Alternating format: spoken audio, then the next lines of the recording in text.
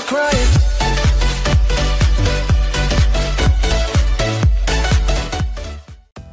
Xin chào các bạn.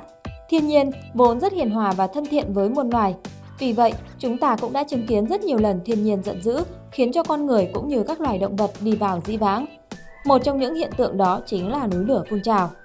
Khi nhắc đến núi lửa, chúng ta thường nghĩ đến cảnh tượng khói bụi và dòng magma nóng chảy đáng sợ đe dọa cuộc sống của con người. Thế nhưng, trên thế giới vẫn lại có những ngọn núi lửa vô cùng kỳ lạ và khác biệt so với những gì chúng ta thường thấy. Trong video lần này, hãy cùng chúng mình khám phá xem chúng có gì đặc biệt nhé! Số 1. Núi lửa bùn tại Azerbaijan Núi lửa bùn là người họ hàng ít được biết tới của các loại núi lửa magma thông thường. Chúng phun trào thường xuyên nhưng không bị coi là nguy hiểm. Núi lửa bùn có nhiều hình dạng và kích cỡ khác nhau và phổ biến nhất ở Azerbaijan với hình nón nhỏ hoặc hình ống cao tới 4 mét, đôi khi nằm trên các đỉnh đồi cao vài trăm mét. Các nón nhỏ này hầu như không ngừng giải phóng bùn lạnh, nước và khí, vẽ nên các cảnh tượng ngoạn mục hiếm thấy, thu hút rất nhiều khách du lịch. Nhưng đôi khi, núi lửa bùn cũng hoạt động hết sức mãnh liệt. Cứ sau khoảng 20 năm, một đỉnh trong số đó lại phun ra những luồng khói đen trên cột lửa khổng lồ. Bùn trào ra đã giải phóng một năng lượng vô cùng lớn. Số 2. Núi lửa Kawajian ở Indonesia Núi lửa Kawajian cao 2.799m so với mặt nước biển. Đây là núi lửa hiện tại vẫn đang hoạt động. Khi hoàng hôn buông xuống, ngọn núi kỳ lạ sẽ phát ra những tia màu xanh sáng, cao khoảng 5 mét, tạo ra cảnh tượng vừa hùng vĩ vừa ma dị. Ánh sáng màu xanh này không phải do dòng dung nham của núi lửa có màu xanh mà do khí ga thoát ra từ núi lửa tạo thành. Nhìn xa, những dòng dung nham màu xanh giống như một dòng sông phát sáng trong đêm. Số 3. Vùng Cappadocia sau núi lửa Thung lũng tình yêu luôn giúp vùng Cappadocia Thổ Nhĩ Kỳ thu hút nhiều khách du lịch, nhất là với các cặp tình nhân. Đây là nơi nghỉ dưỡng thơ mộng với khung cảnh hoang sơ và tuyến đường đi bộ đẹp nhất châu Á. Ở đây có các cột đá cao to sừng sững với những hình thù kỳ lạ. Những hòn đá này chính là tàn tích của các ngọn núi lửa sau khoảng 3 triệu năm trước theo thời gian do tác động của mưa gió, ánh nắng mặt trời bị bao mòn tạo ra các hình thù độc đáo.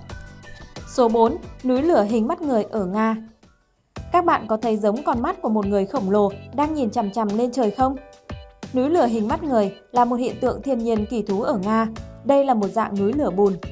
Hiện tượng thiên nhiên kỳ lạ này đã thu hút rất nhiều người đến xem để thỏa mãn sự tò mò.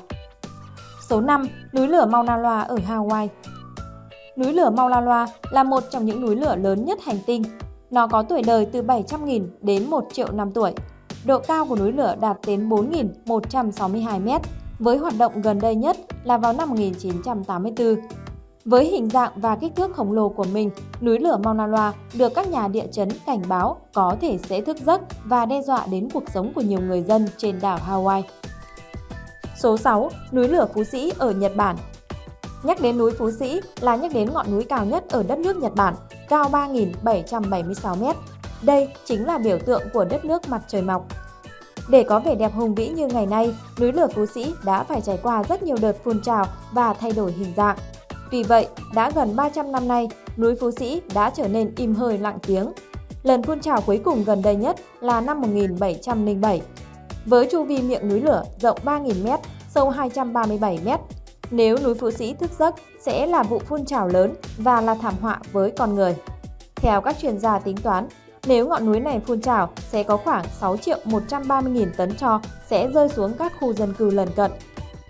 Số 7. Núi lửa Arenal ở Costa Rica Nằm cách thành phố Mexico 70 km theo hướng đông nam, núi lửa Arenal là một trong những núi lửa hoạt động mạnh nhất ở Mexico.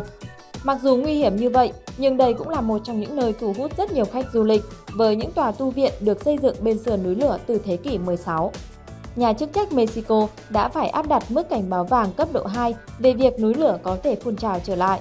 Du khách buộc phải giữ khoảng cách an toàn 12 km kể từ miệng núi lửa. Số 8. Núi lửa Bromo ở Indonesia Bromo cách trung tâm thành phố Surabaya của Indonesia khoảng hơn 100 km.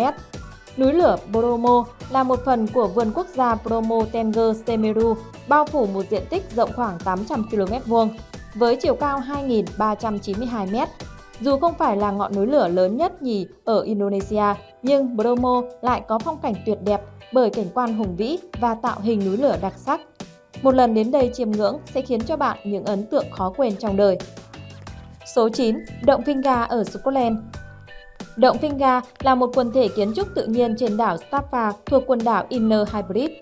Một hang động như bước ra từ sử thi cổ xưa với vẻ đẹp kỳ ảo của những phiến đá được xếp chồng và ghép lại từ những khối đá lục giác hoàn hảo. Đó là hang động Finga trên hòn đảo Staffa ở Scotland. Nơi đây giống như một nhà thờ tự nhiên với mái vòm, những bức tường dựng đứng, những tiếng vọng của sóng biển xung quanh tạo ra những âm thanh kỳ diệu. Hang động Finga là một hang động biển được tạo thành hoàn toàn từ ba gian và dung nham.